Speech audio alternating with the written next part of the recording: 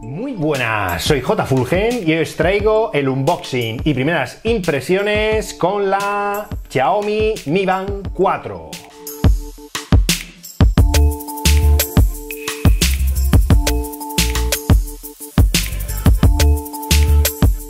Renovación de una de las pulseras cuantificadoras más valoradas del mercado, ya que nos ofrece muy buenas características a un módico precio.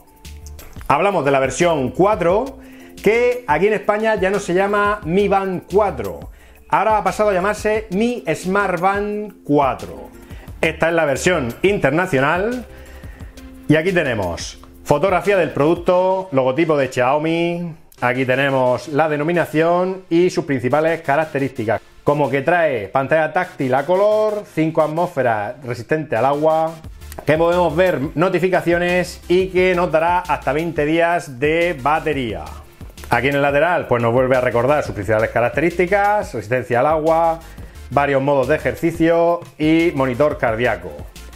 Otro lateral, pantalla color, notificaciones y monitor de sueño automático. Y aquí, como se puede ver, sus principales características técnicas en varios idiomas. Y aquí un logo QR para que descarguemos la aplicación MiFi.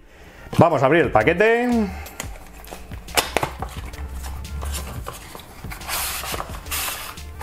Y aquí tenemos en primera plana la propia pulsera, que en este caso ya viene montada en la correa de silicona. Ya tenemos aquí y de hecho ya viene encendida, que nos dice que lo primero es que la emparejemos.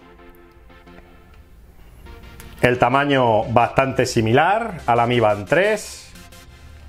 Pero eso sí, la pantalla mucho más recta, no es tan redondeada como la Mi Band 3. Eso sí, ha cambiado poco. Sí es verdad que es un pelín más gruesa, pero lo bueno es que podremos usar las mismas correas en esta Mi Band 4 que ya usábamos para la Mi Band 3. Por lo tanto, un punto a su favor. Bueno, vamos a seguir viendo lo que viene en la caja, que por aquí veo el cable USB, Que esto sí que ha cambiado bastante. Ya no tenemos el cargador que había que insertar lateralmente. Ahora lo tenemos que poner superficialmente. Ya que, como se puede ver, los pines de carga van en la parte trasera. Ya no van en el lateral.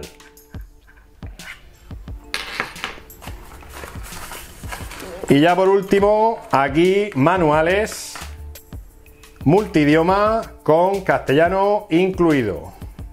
Pasando a ver la pulsera, pues os puedo decir que es prácticamente la misma que la de la Mi Band 3, exactamente igual, el mismo tipo de silicona y el mismo tipo de cierre.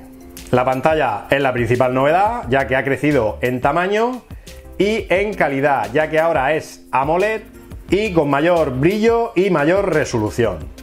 Parte trasera, sensor cardíaco y los dos pines de carga. Y ahora pues voy a vincularla porque si no, así no se aprecia para nada la calidad de la pantalla. Bueno, como ya era habitual para las anteriores pulseras, la aplicación que necesitamos para vincular es la aplicación MiFi de Xiaomi. Aplicación gratuita, la cual está disponible tanto para Android en el Play Store como en el App Store para el iPhone. Y para vincular, pues simplemente pulsamos en el más decimos que es una pulsera. Aquí me da una advertencia, ya que yo hasta ahora estoy recogiendo los datos con el Amazfit Verge. Y me dice que si vinculo la pulsera, pues ya dejará de sincronizar con el Amazfit Verge y pasará a sincronizar los pasos y sueños con la Mi Band 4. Decimos que aceptar y ya está buscando la pulsera. Ya lo tenemos, damos confirmación en la pulsera y ya se está emparejando. Aquí nos vuelve a advertir que estamos activando un nuevo dispositivo. Que si tiene múltiples relojes, solo uno de los dispositivos será útil para sincronizar los datos. Le damos que activar, aquí OK. Y ya lo tenemos activado con éxito. Ahora supongo que tendrá que actualizar datos. Bueno, aunque dice que está restaurando los ajustes, veo que la pulsera funciona. Si es cierto que aunque el manual y la caja viene multidioma, pues el menú por el momento parece que está en inglés. ya veo que ha terminado de actualizar datos. Aquí nos da un pequeño tour, bloqueo de pulsera. Eso quiere decir que podemos activar un bloqueo de pantalla. Supongo que eso tendrá su utilidad simplemente por si en un momento dado nos quitamos la pulsera y la dejamos por ahí para que nadie pueda acceder a ella.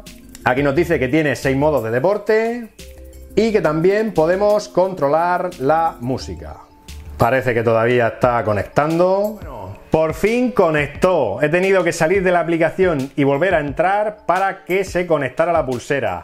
Y automáticamente pues, ha saltado una actualización de software, que esto no hay manera de saltarlo. Por lo tanto, hay que esperar a que se actualice sí o sí.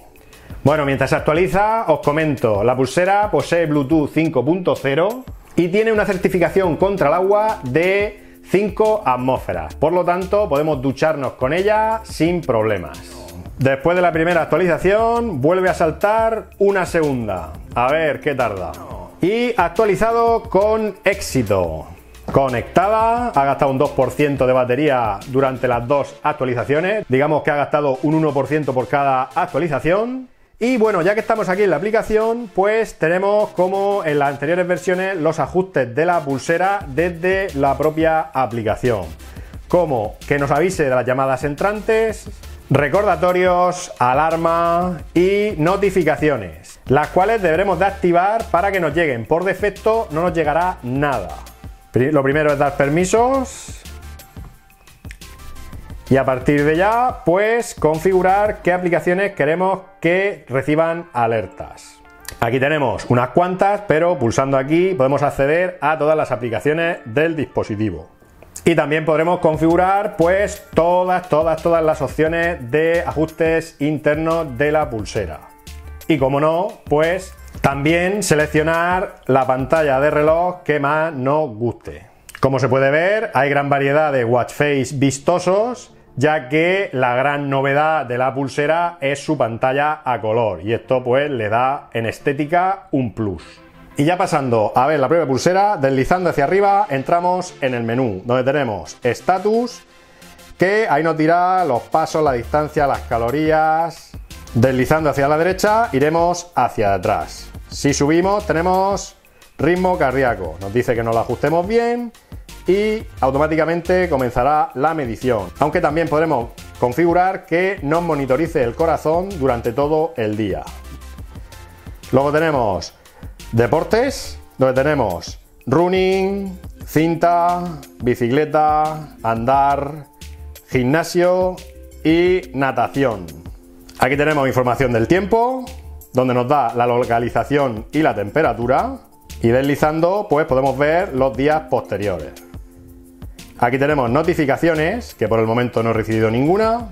Y aquí en More, pues tenemos más opciones, que tenemos el modo no molestar, la alarma, control de la música, cronómetro, cuenta atrás, buscar el dispositivo, o sea, buscar el smartphone, poner en silencio, seleccionar el watch face y los ajustes donde podemos configurar el brillo, que tenemos 5 puntos de brillo, la pantalla de bloqueo o reiniciar la pulsera y ese sería todo el menú. Desde la pantalla principal, si deslizamos de izquierda a derecha o de derecha a izquierda, pues tendremos el acceso a controlar la música desde la pulsera, que la verdad que es una característica que creo que va a ser bastante, bastante útil. La pantalla, ya os digo yo, que ha mejorado muchísimo. La resolución es muy, muy superior, que era la principal pega que tenía la Mi Band 3, porque la verdad es que en interiores se veía más o menos, pero en la calle no había manera de ver nada. Habrá que probar esta en la calle, pero ya os digo yo que veo un brillo mayor y ahora mismo la he dejado configurada en el punto número 4 de brillo. Tampoco está al máximo, pero ya os digo, me falta probarlo en la calle y ya os contaré si hemos mejorado en ese aspecto. Hablamos de una pulsera que está a precio oficial aquí en España a 35 euros, la cual se pone a la venta oficialmente mañana. La primera impresión es bastante, bastante buena. Falta probarla. Si queréis que haga alguna prueba en concreto, quiero que me lo dejéis en los comentarios. Y eso, voy a intentar probarla en profundidad, todos sus aspectos, tanto para el día a día como para el deporte, aunque para el deporte ya sabemos que es una pulsera sin GPS, por lo tanto la exactitud en el deporte no va a ser su fuerte. Pero bueno, no obstante, la probaré en el día a día y en el deporte. Y por el momento, nada más.